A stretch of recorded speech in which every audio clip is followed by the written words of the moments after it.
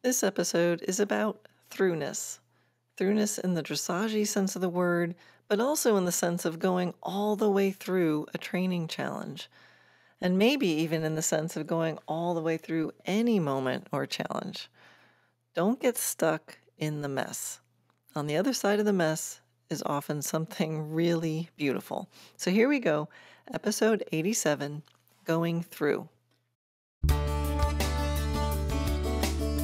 I'm Karen Rohlf, and welcome to Horse Training in Harmony. This podcast is about you making progress with your horse in a way that you both can love. It's about learning how to move and be in harmony. Because, yes, you really can develop a horse to be both athletic and happy.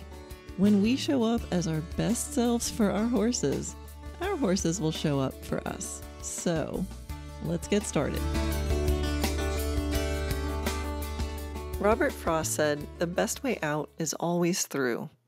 Robert Frost has several things that he said that's, that really relate well to horses. He was the one that said the quote that I love uh, that freedom is when you're easy in your harness. Now, in dressage, we talk about throughness where that term is defined as an intangible concept which describes a horse moving freely through his entire body with no tension or resistance. So it describes a movement dynamic within the horse, but it also is a feeling between the horse and rider where the aids go through. So the rider sends their idea and their energy to the horse, and then that idea gets expressed out through the horse. There's a term in, in dressage called Durchlässigkeit, which uh, translates to basically like through lettingness, or it's about a permeability. It's how well the aids flow through the horse. And this through lettingness is something that can often be seen, but it can definitely be felt. And it's a result of excellent communication paired with balance and suppleness and willingness. So it's a complex thing, and there's a lot of sort of circumstances and pieces that need to be in place for this to be expressed, especially in anything more advanced. But I'm actually not going to talk about that kind of throughness. So, what I wanted to talk about is the importance of moving all the way through a process or a training moment. This is so vital to training. So, our goal is always that we ask the horse something, he does it, and then we thank him. You know, in training, that doesn't always happen because by definition, we're in training, we're asking the horse to do things often that they don't yet know how to do. So often we ask for something, we get something else, and there's a period of time where we're trying to navigate that quote unquote mess and get to the goal. Now, mess is not necessarily a negative thing, it's just a normal part of the process. And of course, we're trying to minimize the messiness of the mess and get through it as efficiently as possible and checking ourselves and saying is there any way I could make this clearer? Is there any way I could ride this better, etc., etc. But I think it's good to acknowledge that there is this moment where things aren't perfect, and that's normal. However, I often see students, riders of any kind and any level, getting stuck in that messy moment for a little too long and maybe for not the best reasons. And I often see horses then, of course, getting stuck in that messiness too, right? The student's asking, it's not working, everybody's stuck. And often I think students are almost expecting some things to be hard, right? They, they know that they're students, they know that they're learning, they know they're in new territory, and they, you know, expect it to be hard. And I hear a phrase a lot. You know, I'll, I'll hear students say, I'm struggling with fill in the blank. So I'm struggling with my canter departs. I'm struggling with lateral work. I'm struggling to get my position right. I'm struggling to get the basic yields, whatever it is I'm struggling with. Don't struggle. I mean, really, don't include struggle as part of your life, especially as part of your horse life. Do you know what the word struggle means? You guys know me. I love to look up words in the dictionary. Well, on Google. So, as a verb, struggle means um, to make forceful or violent efforts to get free of restraint or constriction. and as a noun, a struggle is a forceful or violent effort to get free of restraint or resist attack. so when you look at the definition of the word struggle, I don't think there's any need for force or violence. Hopefully, no one's attacking anyone. there's no attacking going on anywhere in your riding experience. Hopefully, not in your life experience either. So, I'm going to tempt you to stop saying that you're struggling with anything. But the truth is, you're likely in a position where sometimes you're not getting the things that you're asking for. And that's going to require some curiosity, some focus, and some dedication to remedy that. But maybe instead of saying, I'm struggling with fill in the blank, you can say, I'm still practicing fill in the blank, or I'm still playing with how to do canter departs better. I think that feels a lot different. When you struggle, you get stuck in the moment of the mess. And we want to go through the mess and come out the other side. This is when it's so important to be able to get really specific on exactly what you're trying to do. What exactly do you want? What will success look like? And this part's really important, I think, is what's the essence? What's the most important part about what you want? And how will your exercise of choice help you achieve that specifically? And it's important to ask yourself if you can't have it all, which is the thing that you do want or that you will accept? So if you're looking for you know, three qualities at once, and you can't have it all, maybe you're only going to get two out of those three. Which two? or if you only could get one of those, which one of those in this moment? And it's going to change moment to moment. But if you want a canter depart that um, is thinking forward, that's at the moment that's on time, like at the moment of the letter, and that's really round and balanced. All right, if you can't have all of those for you and this horse in this moment, which two are more important? Which is more important? Sometimes you go, all right, it's not going to be at the letter. I'm going to go past the letter and do it whenever it feels right because the most important thing is that it's round. So you're working on your dressage test.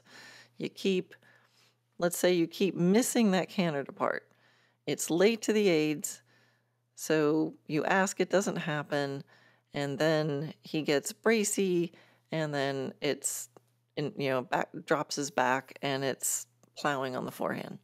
And so you keep practicing, coming around the corner, doing it at A, coming around the corner, doing it A, and it's not working. And you might be tempted to say that you're struggling with that canter depart at A.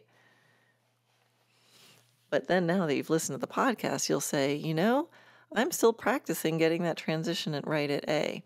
Or I'm still playing with how to have a really nice round canter depart and put it at the letter.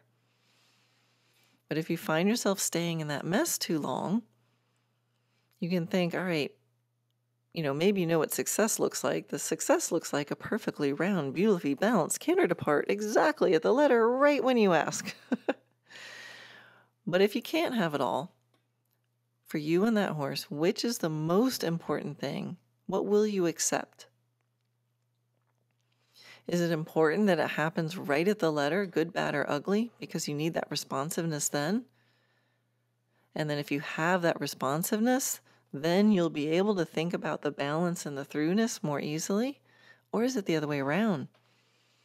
Do you need a few more strides? Do you need another half a circle to really get the feel and make sure after coming across that diagonal with the lengthening at the trot, you maybe need more than just the time in one corner to build your coordination and if you just could take a few more strides, you could get that really round transition. And that's more important than putting it at the letter.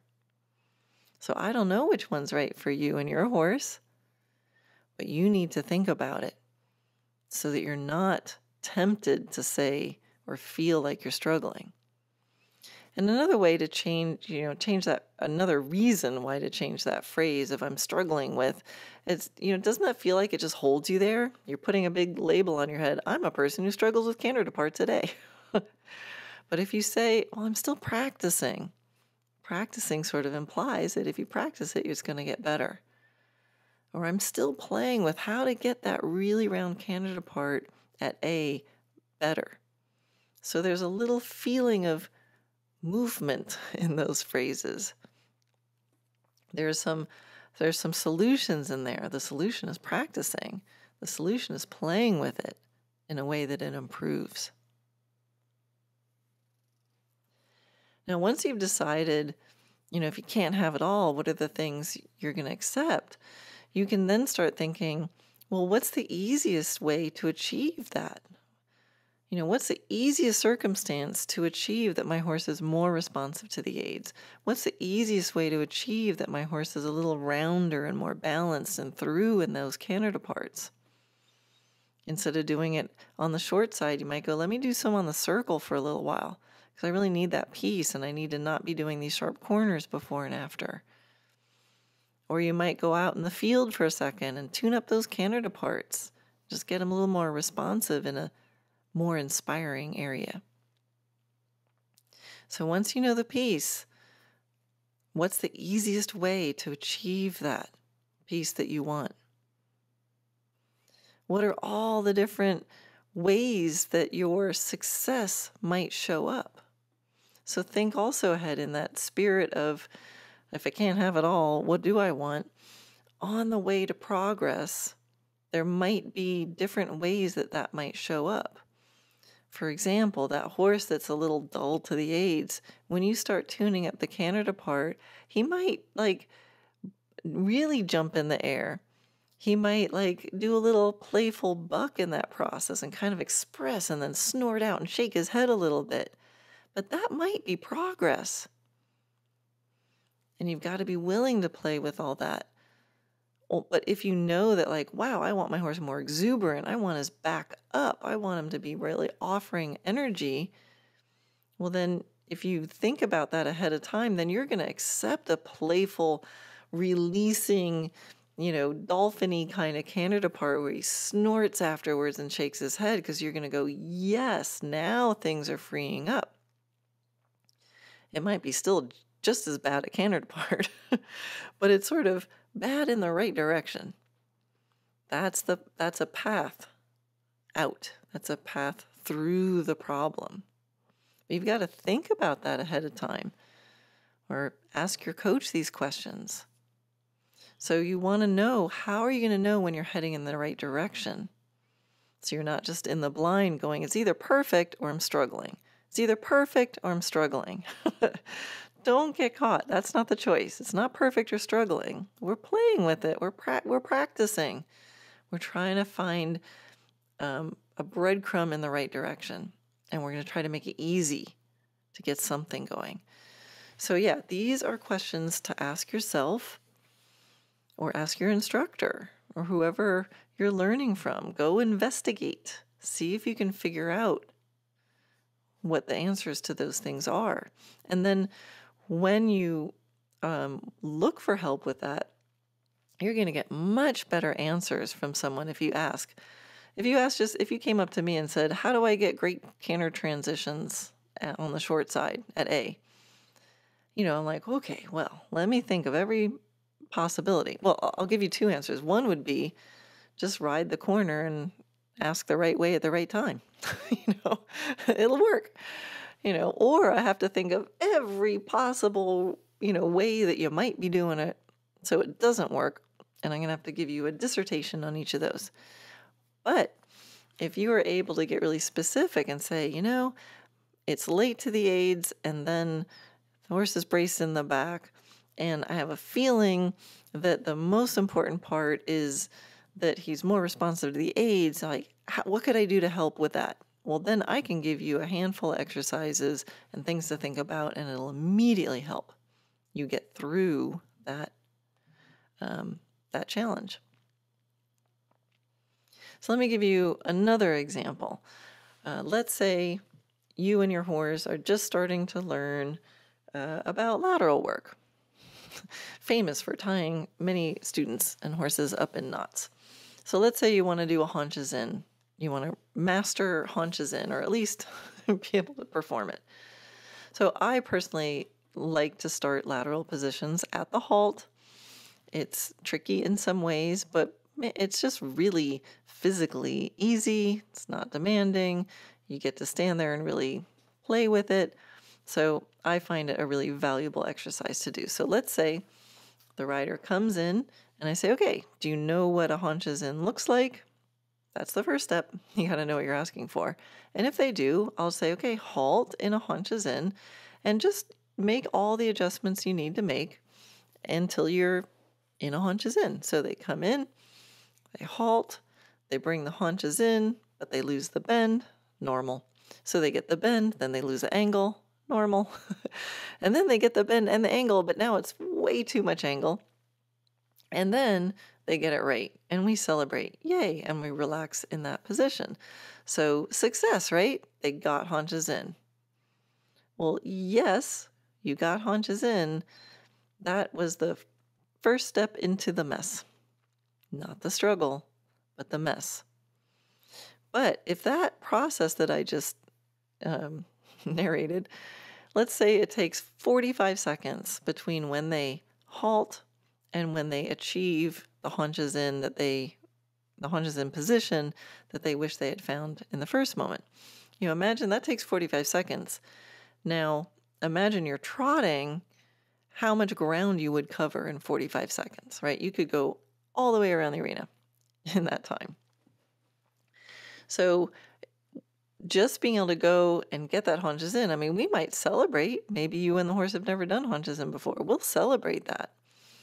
But you are now in the messy middle and you have to keep going because otherwise, that's just, it's always going to take 45 seconds. Right? So, this is where the practice comes in. This is not where you go, I'm struggling with haunches in. No, you're not. You're practicing it. You're playing with how to do haunches in better. And you want to keep practicing and keep playing with it with intention and with focus and dedication until you can walk in and go one, two, three, boom, haunches in. And you're doing what I call first step, best step. It means the first moment you ask, you get the best result.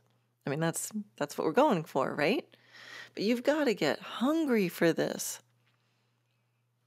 Focus, dedication, lots of practice. If you settle, you'll stay in you'll if you settle, you'll stay in the struggle. That's a cute little, you know, put that on a little meme, except I told you not to use that term, so I guess I can't use that term. If you settle for less, you'll be setting yourself up to stay in the mess. that even rhymes. If you settle for less, you'll be staying in the mess. So, uh, this might sound really obvious, but I find there's a certain um, subset of students that plans on struggling too much. They underestimate their abilities they kind of go through a lot of this practice thinking, well, that's pretty good for me, or that's pretty good for my horse.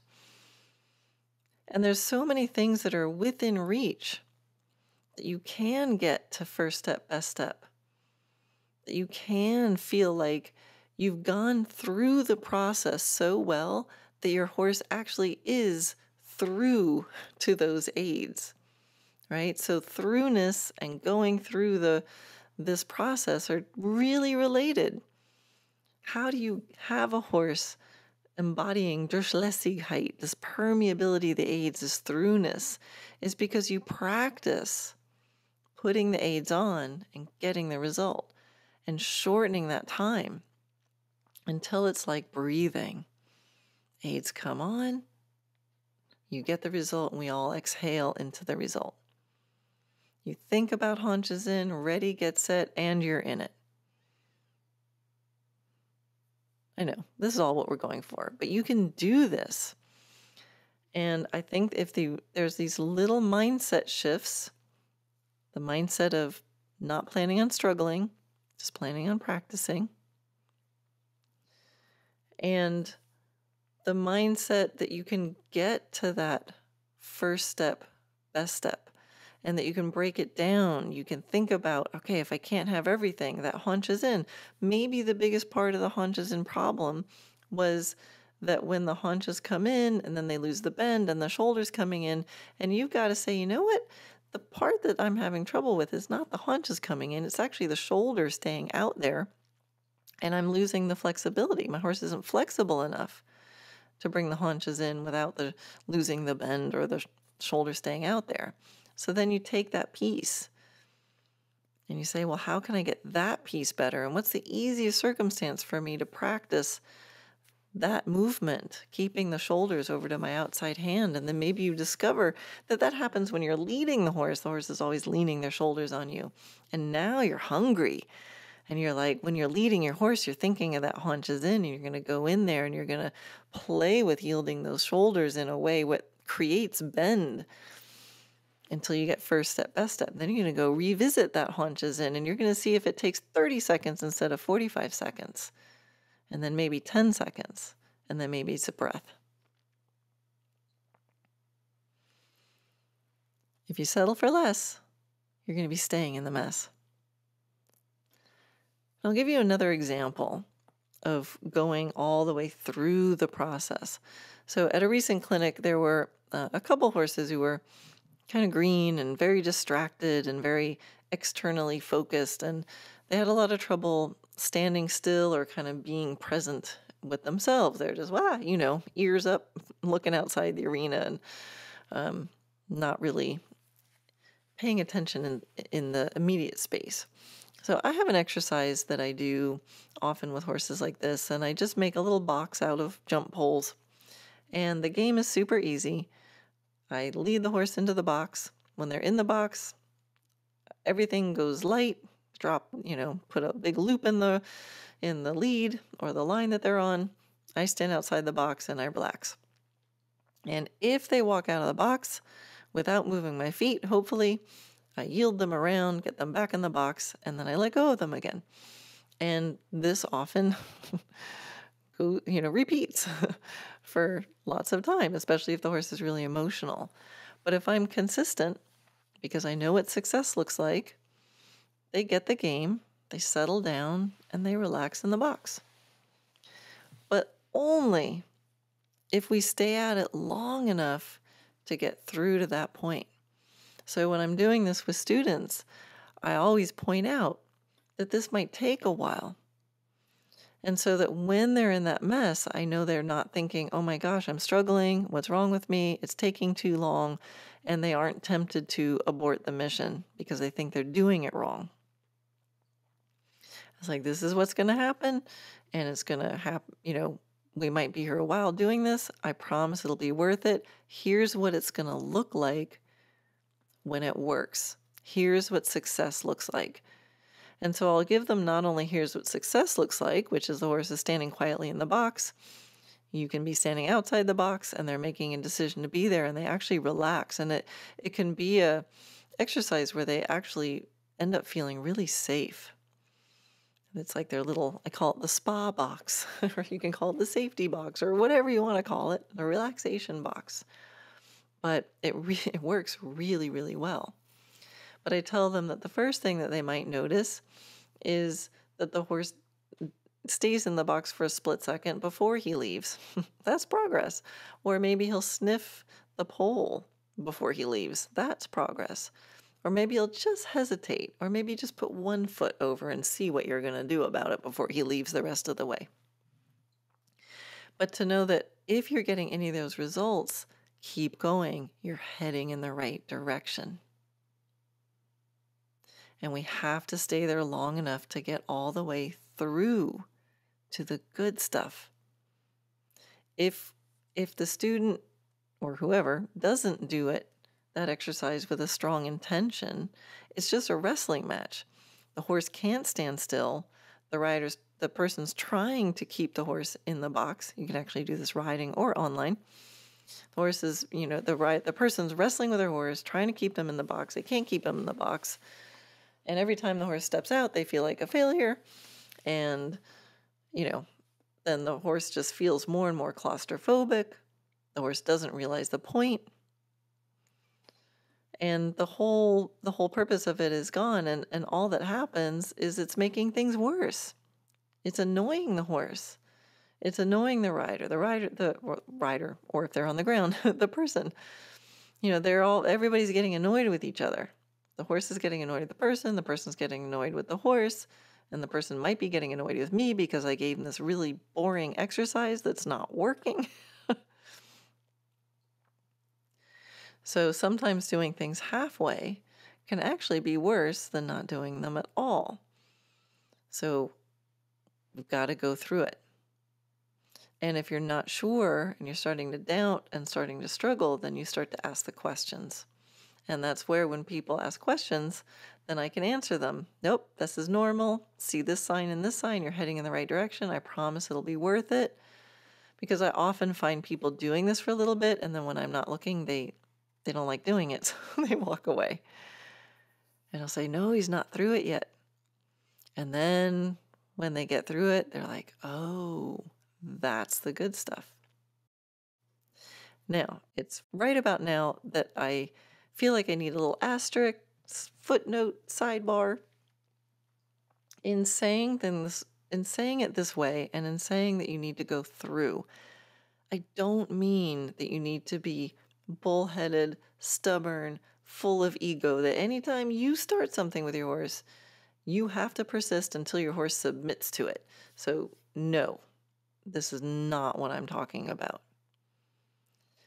Sometimes, often, we need to break things down into those smaller pieces.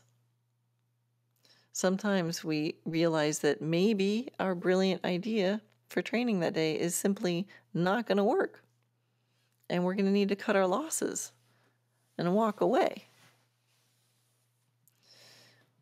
There's plenty of times where I start an exercise and my plan is to go through it, and then the evidence in front of me tells me, you know what?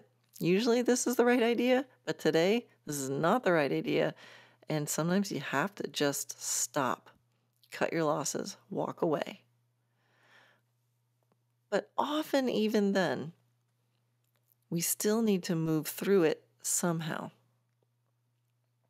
So, unless it turns out that we made a really wrong decision, or our horse is now unhealthy or unsound enough to do anything like that again, still want to kind of follow up and see how we can move towards some understanding or some sort of progress. It might look really different. But we still want to, there's a reason why we started that exercise. And sometimes you can keep the same intention, but have a totally different strategy. But again, this is where that curiosity and that dedication comes in. I wonder how else I can get this piece. So, picking the right size pieces, knowing the essence of what we're trying to get through. And like I said before, if I can't get the whole picture, I'm pretty quick to choose just a part of the picture and get success there. Because, of course, we're not going to be perfect at everything all the time. There's plenty of stuff that we can save for another day. But I guess the point is that if you think something is worth starting, it's often worth finishing, even if the sort of flavor of how you do it is slightly different. I think most of all, the to to know that the worst thing we can do, well, maybe not the worst, but one of the worst things we can do is to leave our horses thinking, "What the heck was that all about?" So, as much as possible, I try to avoid my horse going back to his pasture mates thinking, what the heck was that all about? So, I ask myself this question, and maybe you'd like to try this yourself is when you're when you're doing something and you picture okay when you're done with that and you put your horse back in his pasture and his pasture mates come up to him and go hey what'd you do today what do you want your horse to say that he learned? And just taking a second to think about that can really help you make decisions. If you can't have it all, what's the one thing you want your horse to say that he learned? And if you break it down into small enough piece, I promise you, you can go all the way through the process and get to the good stuff. Do not plan on struggling.